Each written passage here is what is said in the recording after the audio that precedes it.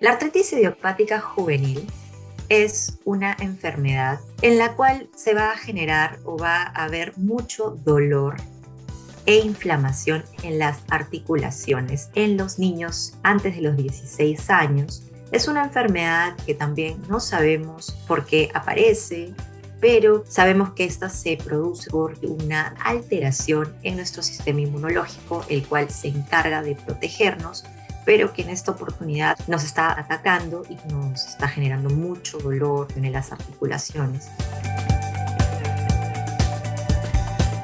La artritis idiopática juvenil se puede manifestar de muchas maneras. Una de las formas como nosotros podemos ver esta enfermedad es con fiebre. También podemos encontrar que hay algunos órganos internos en los niños que están aumentados de tamaño. En algunas ocasiones encontramos anemia que ya tiene algún tiempo, que no se resuelve y no encontramos la causa. Y la característica principal, los dolores en las articulaciones.